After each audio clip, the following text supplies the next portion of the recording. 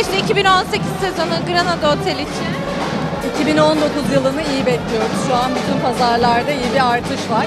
Önümüzdeki 3 senenin iyi gideceğini hatta öngörüyoruz diyebilirim.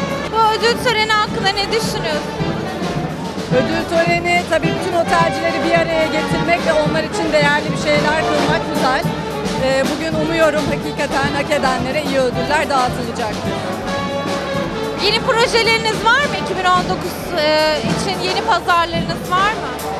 Yeni pazarlarımız var. Alternatif pazarlara biz her zaman yatırım yapan bir ürünüz zaten. Ayrıca yeni bir ürünümüz de var. Bundan sonra 3. otelimizde Afsallar bölgesinde 2019 sezonunda hizmete girecek.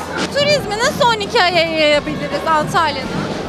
Ya biz özellikle Belek'te ve Okurcalar'da tesisimiz var. Okurcalar'daki tesisimiz 20 Nisan 31 Ekim tarihleri arasında faaliyette.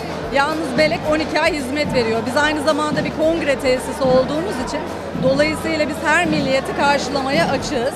Ama bu dinamikleri takip edip, uçakları takip edip, her pazara vakıf olup bu şekilde bir hizmet çalışmasıyla e, bütün pazarlarda var olma gibi bir hedefimiz var.